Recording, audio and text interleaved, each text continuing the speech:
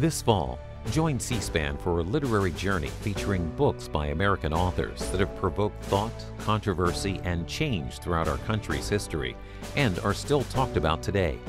Join us as we trace American history and explore who we've become through the books that shaped America. Starting in 1776, before we were these United States, Thomas Paine argued it was common sense to break away from Great Britain. As the new nation evolved, advocates of a strong federal government waged a print campaign to ratify the Constitution.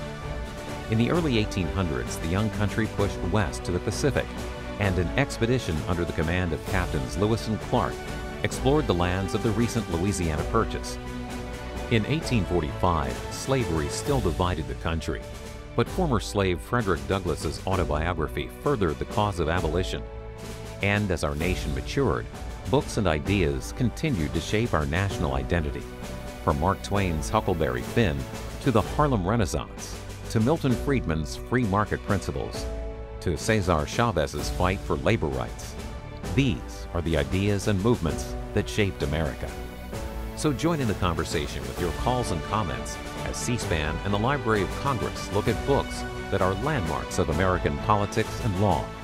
Books that explore race relations. Books that take you down the Mississippi River to the open prairies of Nebraska and to the Pacific Coast. Books that examine free market capitalism and workers' rights. Books that shaped America. Live for 10 weeks, Monday nights at 9 Eastern on C-SPAN, cspan.org, and C-SPAN Radio, starting September 18th.